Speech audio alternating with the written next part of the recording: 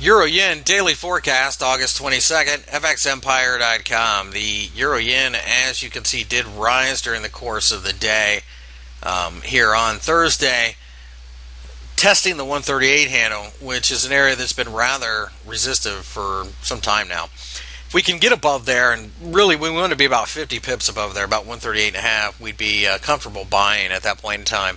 Pullbacks here we think are just going to be uh, exercises in momentum building. Perhaps somewhere down here we'll find enough momentum to go higher.